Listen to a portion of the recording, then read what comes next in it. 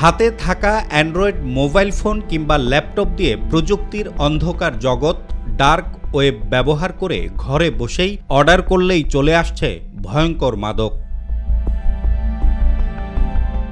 মিলছে এলএসডি ডিওভির মতো ভয়ঙ্কর সব মাদকও, যার নেশায় বুধ দেশের তরুণ তরুণীরা।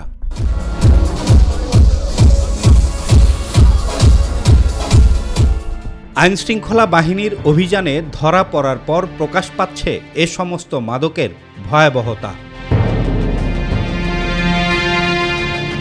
কিন্তু পশ্চিমা বিশ্বে ব্যবহৃত মাদক এলএসডি আইনশৃঙ্খলা বাহিনীর চোখ ফাঁকি দিয়ে বাংলাদেশে কীভাবে প্রবেশ করছে? প্রশ্ন ছিল, মাদক দ্রব্য নিয়ন্ত্রণ অধিদপ্তরের ঢাকা বিভাগীয় অধিকর্তা জাফরুল্লাহ কাজলের কাছে।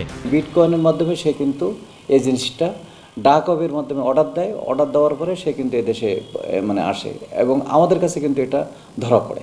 ধরা পড়ার পরে কিন্তু আমরা তাকে গ্রেপ্তার করতে সক্ষম হয়েছি। তো এটা যে একেবারে খুব যে সচরাচর আমাদের দেশে এখনও কিন্তু ওইভাবে পরিণত আমরা কিন্তু অনেকগুলো চক্রকে আমরা ধরছি। শুধু মাদকদ্রব্য নিয়ন্ত্রণ অধিদপ্তরই নয় পিছিয়ে নেই নগর পুলিশের মাদক বিরোধী কার্যক্রম মাদকের বিরুদ্ধে আমাদের সবসময় অভিযান অব্যাহত আছে। যখন এই নতুন ফর্মে আসতেছে এইটা জানার পরপরই কিন্তু আমরা খুব দ্রুতই কিন্তু আমরা অ্যাকশন নিয়েছি।